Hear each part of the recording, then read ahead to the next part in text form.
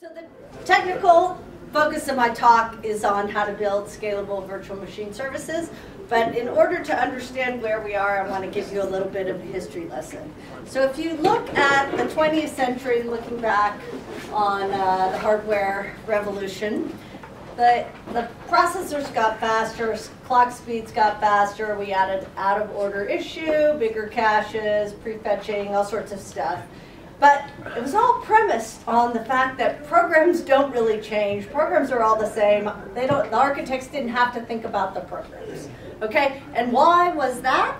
Well, because they put them in this sequential interface. They wrapped them up in the IA32 ISA, or something close, and they said, okay, as long as you obey this and use this interface, we can ignore the applications. And why was this a good mechanism? Because it encapsulated the complexity of the processor. So you don't have to rewrite your software every time Intel comes out with a new processor. Your software runs on this hardware. And so that's the nuance of the hardware. So what was happening on the software side is very similar programs were, and applications were getting larger and more capable. They were more, getting more complicated, harder to reason about, and people didn't want to think about the hardware, and they didn't. So how did they do that? They just think, oh, the hardware just runs faster. They wrap this in the sequential interface, and uh, and and and so as long as they're obeying that, they can deal with whatever the hardware is giving us. All right. So that didn't quite solve all our problems, though. So we were using native languages, but they weren't up to the task of really complicated, large pieces of software. We needed modularization, and, and people voted with their feet and moved to managed programming languages in order to uh, manage software complexity. So you could reason about uh, subsystems of a large application in isolation of the entire application. You didn't have to chase a C pointer bug in, uh, in one part of the system that was caused by another part of the system. All right? And so what did we get? Well, we got some good and some bad languages out of that. JavaScript, I'd say try to kill it as much as you can.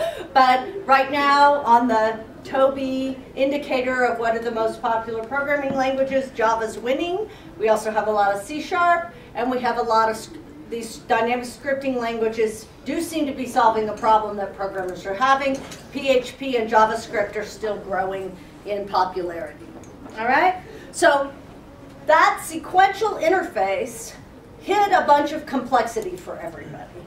And it, what it let us create was a virtuous cycle in which the hardware could get faster and the software didn't have to change, but it got the benefit of the faster hardware. And the software could be built in anticipation of the hardware getting faster. So the hardware wasn't, wasn't quite enough, fast enough to make your, your uh, application do what you wanted. Well, you could just wait a year and then, and then it would be fast enough. So people didn't have to adjust very, uh, very much. But all this is premised on the sequential interface. Unfortunately, that's not exactly what's happened since the 21st century got started. So in 2004, IBM introduces the first multi-core computer, and since then, all we've had uh, in desktop and laptop, and soon to be on your cell phone, is multi-process computers.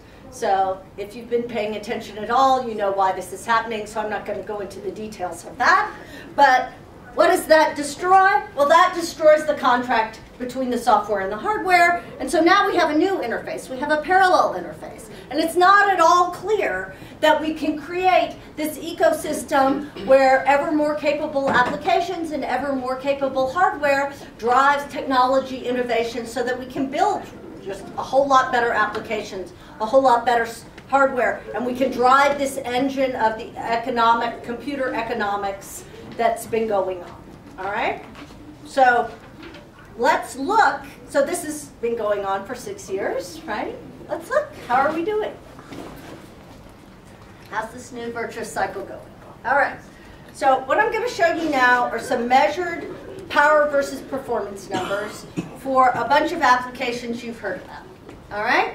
So here what we've done is uh, for processor generation starting in 2003, which this is uh, uh, a Pentium 4 single pro single single CPU, and these are benchmarks are the spec CPU. So I've got native benchmarks in there, DaCapo Java benchmarks, and the spec JVM benchmarks. And oops, I'm missing one. I also have in here the the Parsec benchmarks, which are C kernels of parallel applications put together by some people at Intel and at Princeton. All right? So this has a mix of sequential and parallel workloads. It has a mix of native workloads and of managed workloads. Okay? Any, any scripting workloads? No scripting workloads because this was hard enough and time consuming enough Sure, to measure. sure. All right, but it would be interesting to add those and and uh, and I think I think that DaCapo Java is representative of what you'd see in many of those, except they have more parallelism than most scripting languages are letting you. Like, if you didn't know, let me be the first to tell you, JavaScript has no parallelism constructs in it, not a single one. So you're not getting any parallelism from the application itself. You're only getting parallelism with JavaScript if you run multiple different distinct programs, which are obviously concurrent with each other and not interacting. All right? So this, what we measure here is on-chip power. So we have a Hall sensor, which basically measures the, the DC power, not AC, and you've got to attach it exactly at the right place at all these chips. And uh, Steve Blackburn's graduate student, Yang Xi, did all that work. And some machines it didn't take very long, and you did it the same. And some machines it took like a week or two to figure out exactly where to put it. And then we did measurements on micro benchmarks to make sure we were getting reasonable measurements. So we take measurements and we average power that's consumed by these benchmarks, and we measure their speed up relative to uh, this processor. Okay? Oh, sorry, relative to an atom in terms of its uh, speed up, a single core, and then also this is just direct power in a log scale and speed up in a log scale. All right? So to even understand this graph, it takes me five minutes to explain it. Are there any questions on what the axes are before I try, try to help you interpret the data? So David? the, the, the square dots are for an i5, if I understand the legend, or a Pentium? This is the Pentium. This is 130 nanometer, the 2003. That's where we're starting. All And it's So now we're going to watch what happens as we move forward over the past six years. It's using five times, okay, and it's not relative to atom, those are absolute watts there. These are absolute watts, but speed up is relative relative. to atom. Thank you, okay? Kathryn. So you're, you speed up over an atom, which was built like three years ago in a more simpler uh, ideal, a simple, trying to make the technology a little simpler. It's an in-order core, right? But it's built in uh, in 65 nanometer. Is this a 65 nanometer or 45 nanometer technology? I've got that on the last slide. It's one of It's those. okay, though. it's okay. All I right, I think it. it's 65. Yeah, the 230 is 65. Got it. Okay? All right, so that's where we started in 2003, seven years.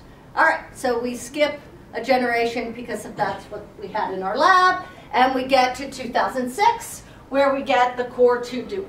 All right, so it has two processors. It's basically halved the size of the tra- the transistors got smaller, so it's built in a smaller technology. And how did we do in using those chips? Well, hey, we got both power reductions, which was what Moore's law was promising us, was power reductions together with performance improvements. Okay? So we're on target, we look good. All right? Then the next year, are we going to get to keep following this trend? No, we're not.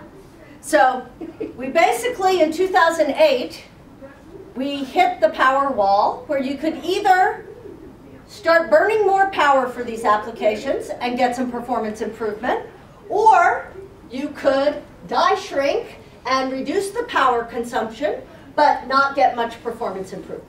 All right? So instead of going like this, we either had to go up here to get more performance, or we had, if we wanted to go down here on the power scale, we had to give up performance. All right? And so it's not coming, it's came and went. All right? I'm sorry, they both look like triangles from back here. Which which one is the I-7, which is a Core 2 Duo? The I-7 are the green triangles, and the purple triangles up here are, sorry, the purple triangles is, are the I-7, and the green triangles are the die shrink of the Core 2 duo. Thank you. Okay? All right, so this is a pretty simple microarchitectural change.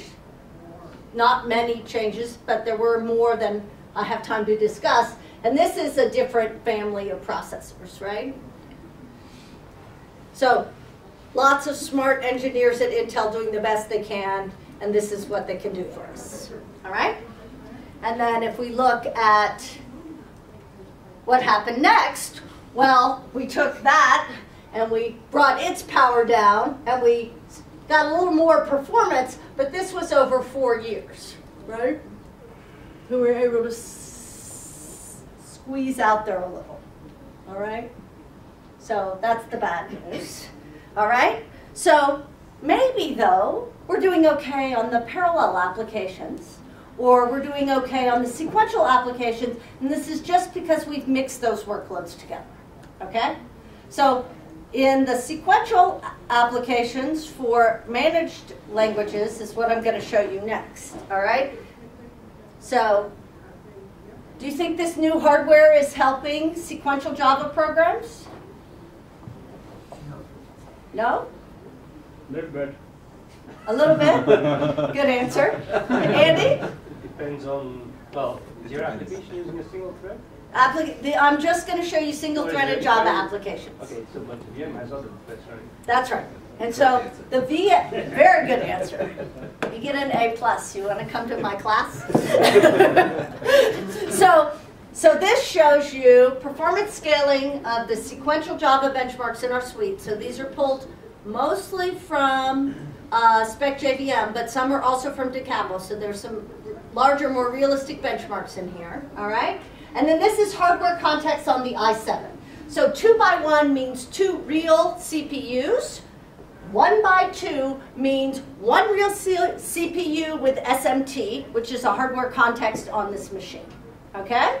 So when this is four by one and this is four by two. All right. So if you thought SMT was going to help you, you can be right a little bit. But the interference and the oversubscription of the resources means that you don't do as well as if you give two hardware, two complete hardware contexts. And, and where is that performance improvement coming from? It's coming from parallel VM services. So the GC is parallel. The JIT, in some cases, can be run on that other processor. All right?